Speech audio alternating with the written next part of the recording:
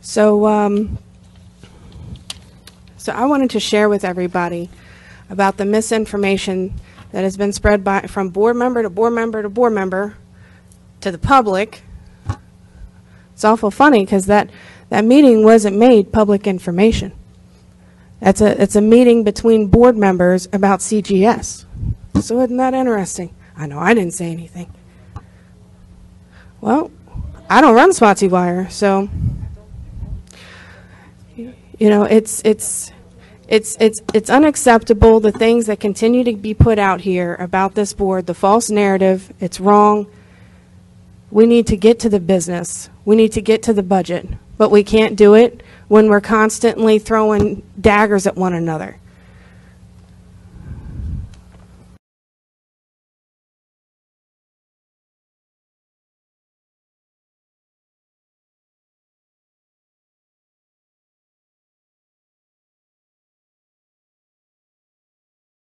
The time and opportunity to get fully vaccinated and for being a voice for the children and staff.